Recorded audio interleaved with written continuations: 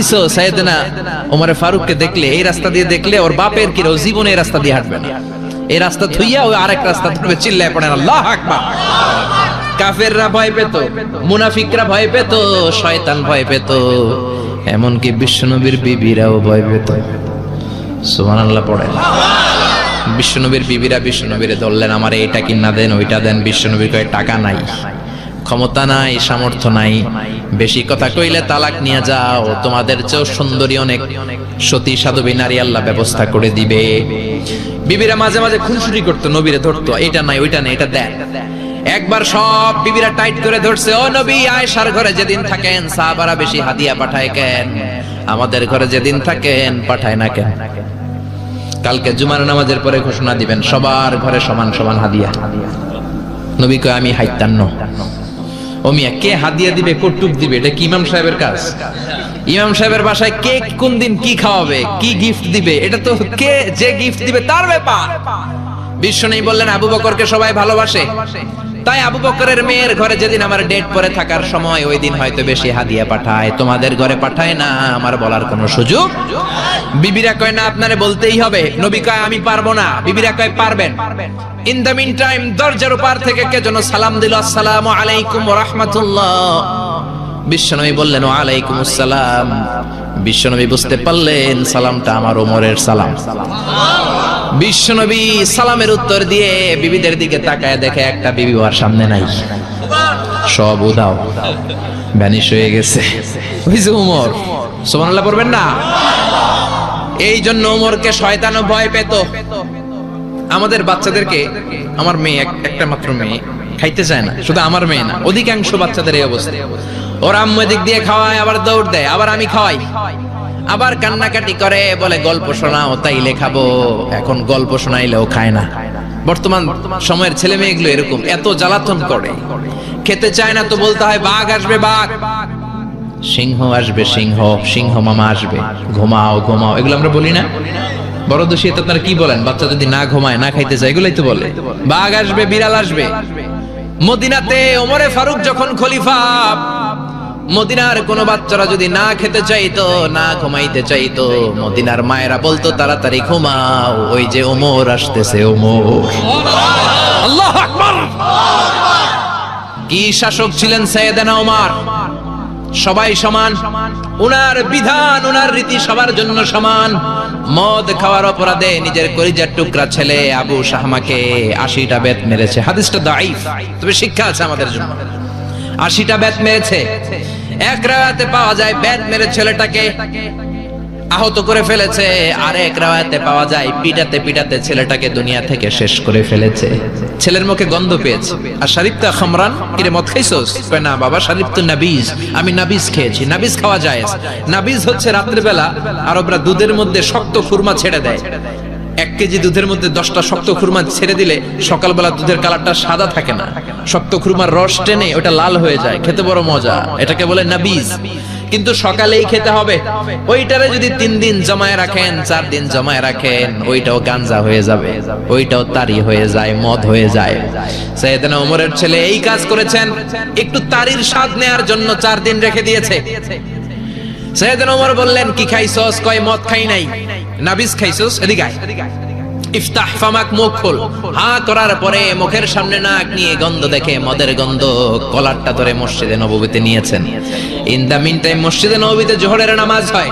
নিজের ছেলেকে মসজিদে নববীর উস্তুয়ানা বলে। উস্তুয়ানা তু মসজিদে নববী। মসজিদে নবীর পিলারে বেঁধেছেন।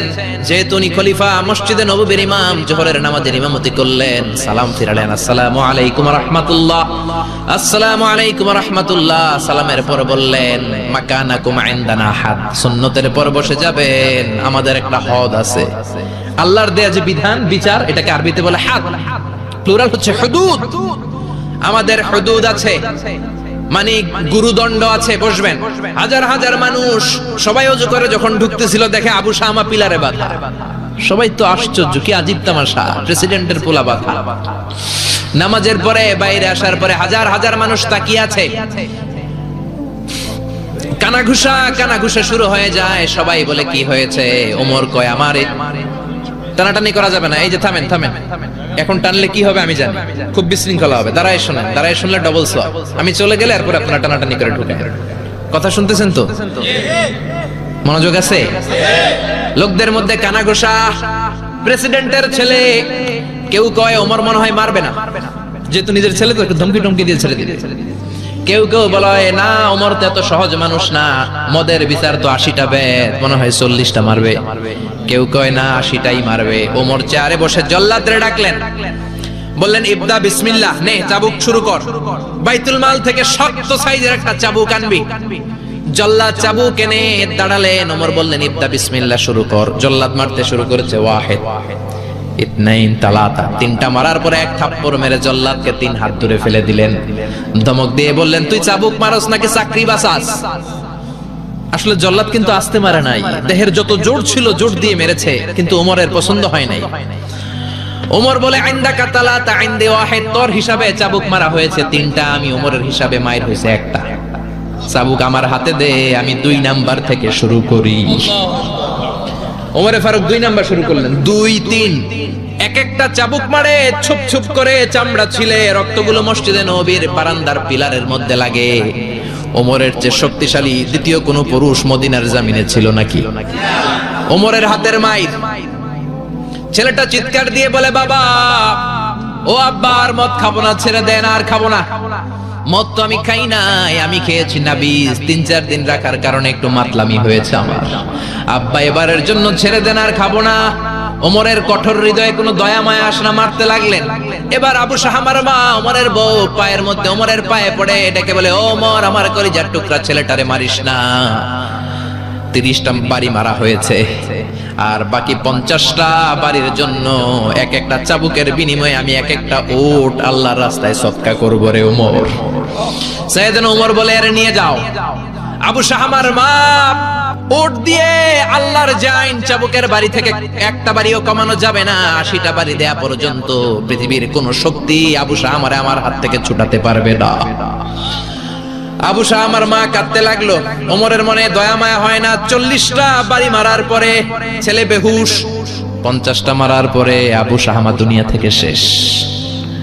সবাই নিস্তব্ধ, নিরবতা, পিন ড্রপ সাইলেন্স পিন পতন, নিরবতা।